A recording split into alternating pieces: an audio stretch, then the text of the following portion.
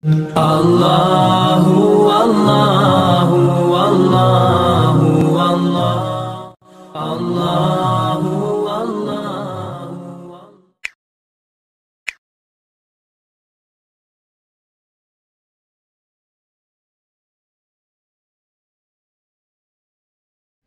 Ketika saya mengkaji atau mempelajari Islamologi,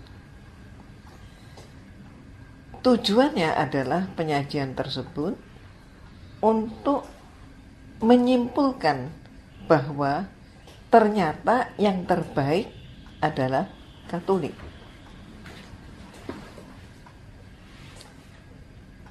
Maka Islamologi adalah dalam bentuk perbandingan agama.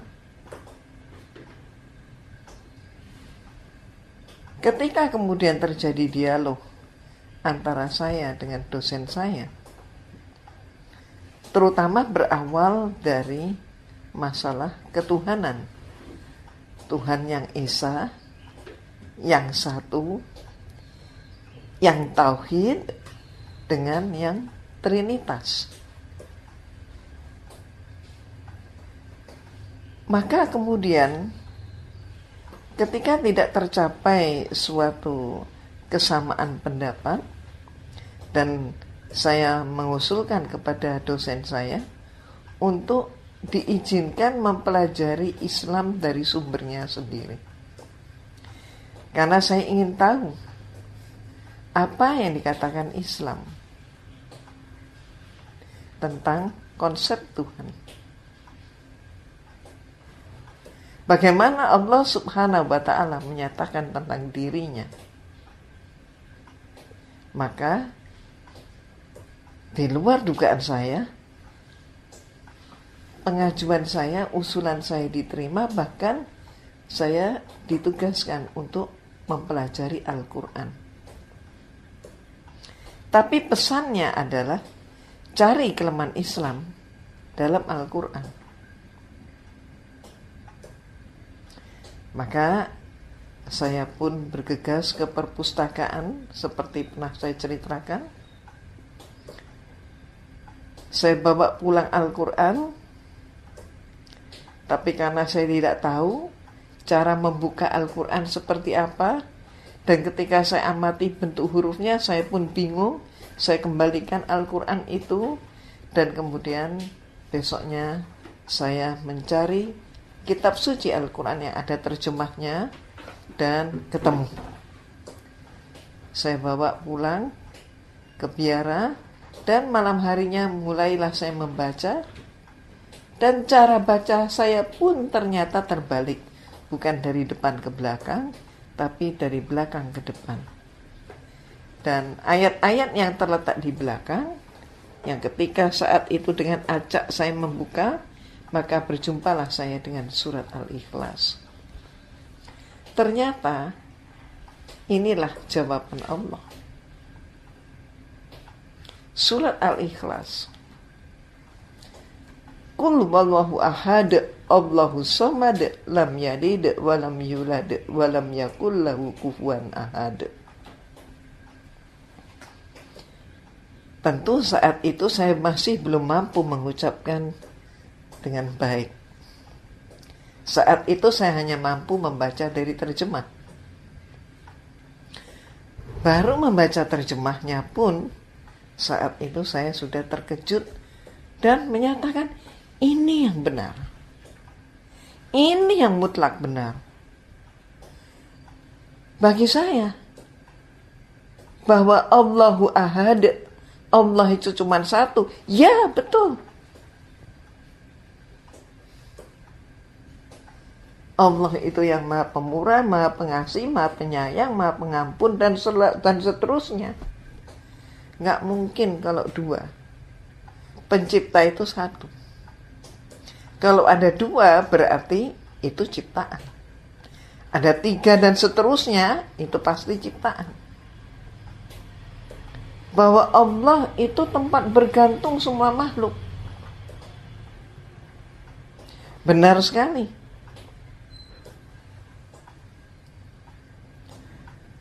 bahwa Allah itu tidak mempunyai sejarah.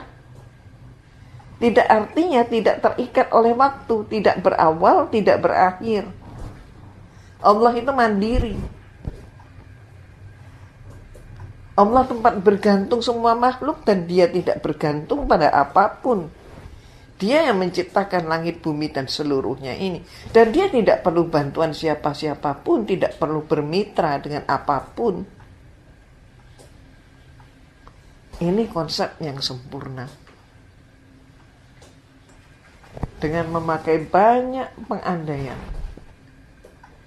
Mereka menyatakan bahwa Tuhan itu ibaratnya sebuah segitiga. Segitiganya satu, tapi sisinya ada tiga. Maka Tuhan itu satu, tapi pribadi Tuhan ada tiga, yaitu Tuhan Bapa, Tuhan Putra, dan Tuhan Roh Kudus. Maka saya jawab, bagaimana kalau kemudian dengan kemajuan ilmu pengetahuan, ilmu pengetahuan dan teknologi, kemudian kita lihat saja segi empat. Segi empat berarti, mohon maaf, Sudutnya ada empat. Sisinya ada empat. Apakah boleh disimpulkan bahwa Tuhan itu empat pribadi? Berarti ada penambahan. Oh nggak boleh jawabnya. Kenapa tidak boleh? Ini dogma. Itu jawabnya. Nah, mohon maaf, kadang juga ada yang mengandaikan Tuhan itu diumpamakan seperti telur. Telur itu ada kulitnya, ada putihnya, ada kuningnya. Jadi telur itu pasti tiga unsur. Maka kalau sampai dua saja nggak mungkin, satu saja nggak mungkin menjadi telur. Jadi telur tuh pasti ada kulit, ada putihnya, ada kuningnya. Maka saya menyatakan juga jawaban saya kepada, dosen saya, Pater, telur itu mengalami penyusutan. Apakah mungkin Tuhan itu juga susut kalau diumpamakan seperti telur? Tidak mungkin. Berarti tidak bisa pengandaian itu dipakai. Ada lagi yang mengatakan seperti rokok. Rokok itu ada filternya, kemudian ada uh, apa namanya uh, cengkehnya, ada tembakaunya, tiga unsur katanya. Saya katakan rokok cerutu ternyata hanya hanya bungkusnya dan kemudian hanya dengan tembakaunya. Dan macam-macam. Ternyata tidak pas juga pengandian itu. Maka semakinlah saya kokoh dengan uh, pendapat saya bahwa Al-Quran adalah kalam Allah. Dan Al-Quran sudah menjawab pertanyaan bahwa ternyata Allah itu ahad. Yang menyatakan adalah Allah subhanahu wa ta'ala.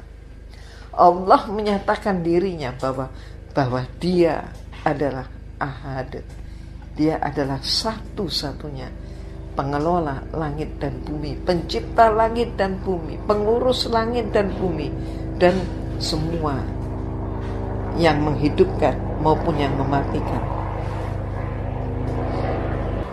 Intinya dosen saya ingin menyimpulkan bahwa Kristen khususnya Katolik adalah yang terbenar. Tapi ternyata hasilnya saya justru meragukan. Dan saya mendapatkan bahwa ternyata konsep tauhid, konsep Tuhan, konsep tauhid di dalam Islam itulah yang benar. Allahu Akbar. Allahu